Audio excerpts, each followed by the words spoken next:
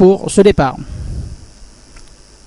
Voilà, ils sont partis. Bon départ pour Chicago. À l'intérieur, nous avons Pegasus Legacy, Strike Again en troisième position. Constellation retenue à plein bras par son jockey euh, Cédric Ségéon. Puis nous avons en quatrième position Pattaya Beach. Puis Sergeant Major en dernière position pour l'instant Royal Day. Alors, c'est Chicago qui va mener la course. Strike Again à son extérieur avec 61 kg et demi. Cela monte euh, de Donovan Manso en troisième position, suivant bien à la corde Yashini Mamdi et Pegasus Legacy.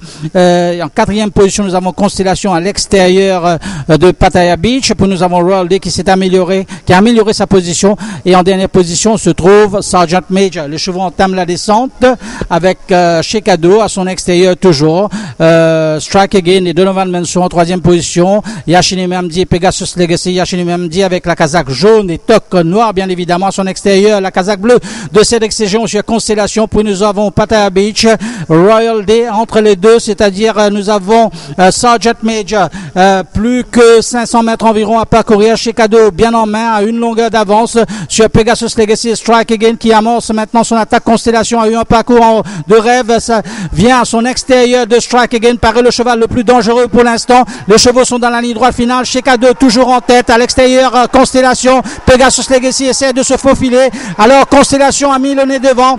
Constellation va gagner cette course comme il l'avait fait l'an dernier en gagnant sa première course. Constellation gagne cette course. Pegasus Legacy revient très très fort. Pegasus Legacy ou Constellation?